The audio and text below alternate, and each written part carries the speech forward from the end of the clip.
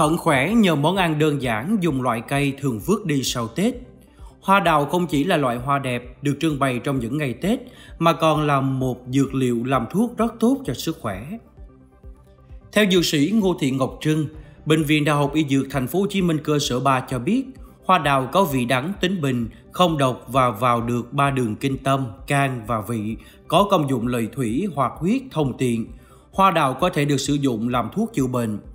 Các nghiên cứu hiện đại cho thấy dịch chiết hoa đào có tác dụng chống oxy hóa, giúp làm mờ nếp nhăn, cải thiện độ săn chắc cho làn da, ức chế hình thành sắc tố melanin, làm mờ tàn nhang, nám da, giúp làn da mịn màng và trắng hồng. Hoa đào có chứa caroten, các loại vitamin B1, B12, C, B2, tinh dầu, chất béo và nhiều chất dinh dưỡng khác tốt cho sức khỏe. Do vậy, người xưa thường dùng cánh hoa đào kết hợp với các nguyên liệu khác để tạo ra các món ăn, thức uống như cháo hoa đào, rượu hoa đào, trà hoa đào, vân vân. Theo nhà khoa học lương y Bùi Đắc Sáng, Hội Đông y Hà Nội cho hay, hoa đào có tính bình và vị hơi đắng.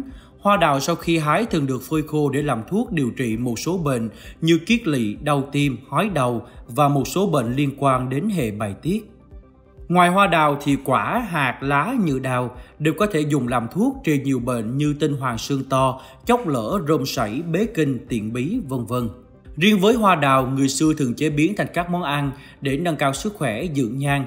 Ví dụ như món ăn hoa đào xào với tôm nõn, hành tây, củ cải ăn giúp bổ thần âm, nhuận da và dưỡng nhan sắc.